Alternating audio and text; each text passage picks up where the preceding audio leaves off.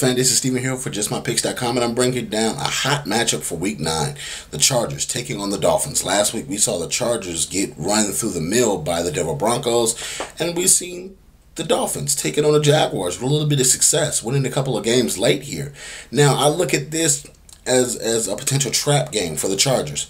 The Chargers looked ahead possibly to this game over the Broncos and thought, okay, well maybe we just got to get through this game with the Broncos. We can beat the Dolphins. Mm, no, the Dolphins are playing with physicality. I know that when Knowshon Moreno went down, I thought, okay, the death of the run game, but you know, this is an intriguing matchup the Dolphins' defense is playing a lot better.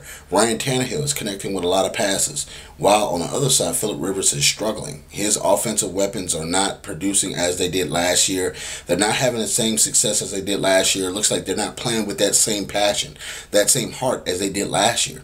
But coming into this football game, you have to look at Philip Rivers as being the better quarterback and that's where the buck stops. I believed in the Chargers early on. I no longer believe in the Chargers. I feel like I don't know what's happened. I don't know if it's a play calling. I don't know if it's the, the, the designs of the plays, but the Chargers just do not look impressive anymore. The Dolphins, on the other hand, Dolphins see a potential uh, chance to sneak in the AFC East and, and possibly overtake the Patriots. So they're playing physical football. They're playing a tough style of football. Cameron Wake is playing like a monster, possessed.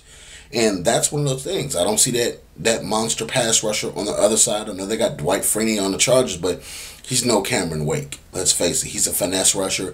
Cameron Wake is a man's man, rushing on both sides of the ball. They move him around just like a little J.J. Watt. He's not as physical as J.J. Watt, but he can get to the quarterback very quickly, create sacks, create uh, sack fumbles, create possible interceptions, making the quarterback throw the ball before he wants to.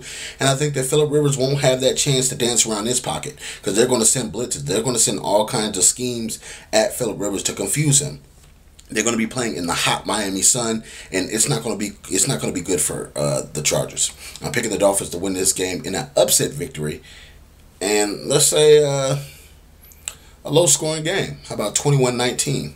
Dolphins win. Fins up. Uh, thanks for checking out Week Nine of Chargers versus Dolphins. Leave your comments in the comment section below. If you're a Chargers fan, you think I'm crazy, leave it in the comment section. If you're a Dolphins fan, fins up. Let's ride out.